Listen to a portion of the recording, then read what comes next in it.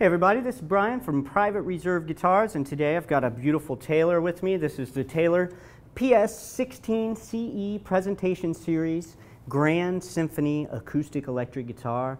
This guitar has got a spruce top, beautiful cocobolo back and sides that add depth and dimension to the sound and then all the beautiful intricate inlay on the guitar on the ebony fretboard as well. This one also sports a very cool ebony contoured armrests that makes the guitar very, very comfortable to play.